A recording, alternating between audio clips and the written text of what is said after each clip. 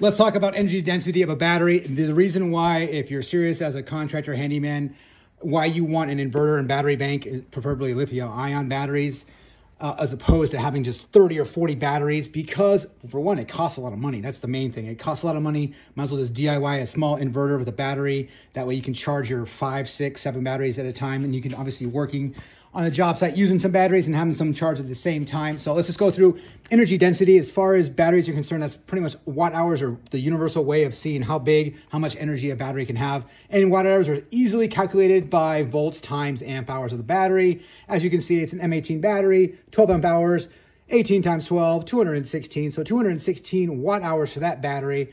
And if you do the math on the uh, Li times 48 volt, you can see that it's going to have 51.2 times 100, 5,120 watt hours for that battery. So 20, you know, a little less than 24 of these M12, or I'm sorry, M18 12 amp hour batteries go into the energy density of one of these. And we're going to see this battery, this Li Time costs about three to four times what this battery costs. So with a little bit of, you know, wiring and an inverter, you can have the energy density of almost 24 of these M18 12 amp hour batteries with just a little bit of work, and you don't have to buy them, obviously. You're to have a couple of these batteries. And obviously, 40 volts times 4 amp hours, you're 160. Realistically, it's a 36 volt battery, but we're not to go there, But Makita.